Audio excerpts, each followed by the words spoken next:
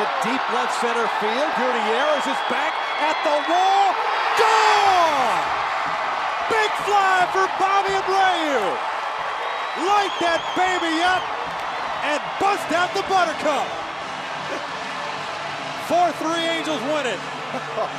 Bobby going the other way with authority.